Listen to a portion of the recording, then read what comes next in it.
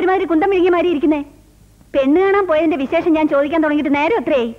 ഭാര്യമാർ ചോദിച്ചാൽ ഉടൻ വിശേഷങ്ങൾ വിളമ്പുന്ന ഭർത്താക്കന്മാരെ പെങ്കോന്നുമ്പാനായിരിക്കും. അല്ലേടാ തൊമ്മി? റോസ്മേരി ഇവർക്ക് ഇഷ്ടപ്പെട്ടാൽ ഈ തെണ്ടി അവളെ കൊണ്ടുപോകും. ഈശ്വര തൊമ്മിയായിട്ടുള്ള ആലോചന മുടങ്ങിപ്പോണേ. കർത്താവേ ഈ കല്യാണാലോചന കലങ്ങിയില്ലെങ്കിൽ എന്റെയും ആശയുടെയും കാര്യം പോക്ക. ഇത് പൊളിക്കാനുള്ള നല്ല വഴി നാളെ തന്നെ അമ്മച്ചയും കൂട്ടി നീ ആ പെണ്ണിന്റെ വീട് വരെ ഒന്ന് പോണം. എനിക്കിപ്പോ കല്യാണം വേണ്ട അപ്പച്ച.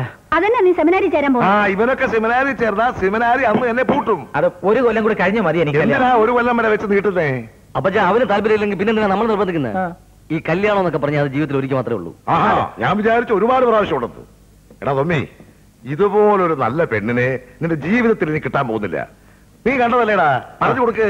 അത് പിന്നെ അത്ര വലിയ സുന്ദരമൊന്നും അല്ലെങ്കിലും തീരെ വിരൂപയൊന്നുമല്ല പിന്നെ ഒരു കാലം ചെറിയ മുടന്നുണ്ട് പക്ഷെ അത് ഫീൽ ചെയ്യില്ല. എന്റെ കർത്താവ് മുടന്നുണ്ടോ ചെറുതായിട്ട്. നീ ഏത് കണ്ണുകൊണ്ടാണ് കണ്ടത്? ആ പെങ്കൊച്ച് പുലിയെ പോലെ തുള്ളിച്ചാടി പറഞ്ഞ് ഞാൻ കണ്ടതല്ലേ? അപ്പൊ നാല് കാലുണ്ടോ? പിന്നെ ആ പെണ്ണിന്റെ സംസാരം കേട്ടാ നമുക്ക് ചിരി വരും.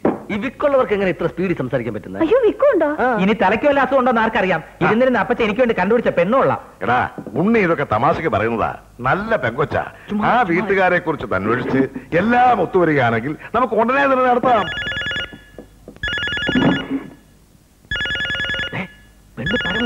ഹലോ ആരാ? അപ്പച്ച ഇത് ഞാനാ. ആലീസ്.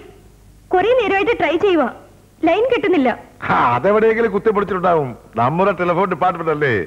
എന്താ മോളെ അത്യാവശ്യമായിട്ട്? ഏയ് ഒന്നുമില്ല. തൊമ്മിക്കുഞ്ഞിന്റെ കല്യാണക്കാര്യത്തെ കുറിച്ച് സംസാരിക്കാനാ വിളിച്ചേ. ആ അത് തന്നെയാ ഞങ്ങൾ പറഞ്ഞോണ്ടിരിക്കുന്നേ. അപ്പച്ച ഒരബദ്ധം പറ്റി. ഏ? ചെറുക്കൻ നമ്മുടെ ഉണ്ണിയാണെന്ന് അവർ കരുതിയിരിക്കുന്നേ. അവനെ കൊണ്ടുപോയത് കുഴപ്പമായല്ലോ. അത് മാത്രമല്ല വിശദമായി അന്വേഷിച്ചപ്പോ അവളുടെ ആ രണ്ടാനച്ചനും ആങ്ങളെയും അത്ര ശരിയല്ലെന്നാ കേട്ടെ. ആന്നോ? ഓ അറിഞ്ഞ നന്നായി. അല്ലെങ്കിൽ തൊമ്മയ്ക്ക് ഇപ്പൊ കല്യാണം വേണ്ടെന്നാ പറയുന്നത് എല്ലാം നല്ലതിനാണെന്ന് കരുതിയാ മതി. For more updates, like comment subscribe to our channel.